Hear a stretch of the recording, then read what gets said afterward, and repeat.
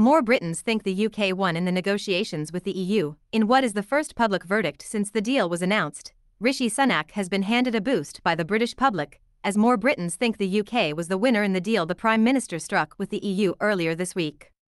The Prime Minister finalised the Windsor framework with EU Chief Ursula von der Leyen on Sunday in a bid to end years of tensions over the Northern Ireland Protocol.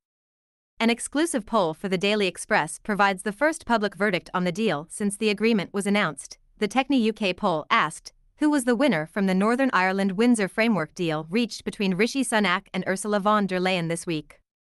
A total of 25% of people said the UK came out as the winner, while 18% said the EU, some 23% of people said both parties won, while 14% said neither.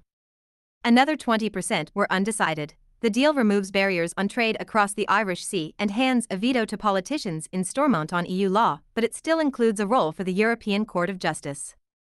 While Mr. Sunak has hailed the deal as a decisive breakthrough, it is yet to be accepted by Brexiteers and Unionists in Northern Ireland. The European Research Group, a powerful caucus of backbench Tory Brexiteers, is currently weighing up whether or not to support Mr. Sunak's deal. Earlier this week, ERG Chairman Mark Francois said Tory Brexiteers will take at least two weeks to scrutinise Mr. Sunak's Brexit deal with an extremely fine tooth comb.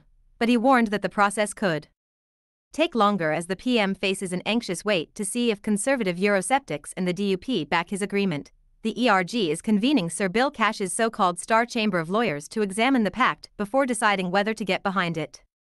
Speaking after an ERG meeting attended by around 50 MPs on Tuesday evening, Mr. Francois said, I'm not going to go through everything that everybody raised, but quite a few topics were put forward that we've asked the Star Chamber to look at so, one of the implications of that is that, is it is actually going to take a while to do this.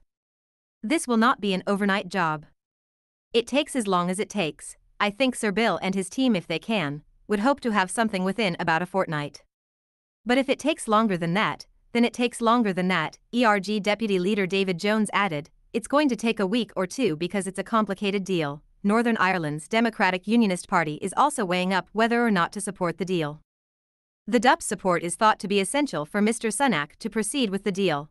DUP MP Ian Paisley Jr. on Tuesday warned the deal doesn't cut the mustard, while party leader Sir Jeffrey Donaldson warned there remain key issues of concern.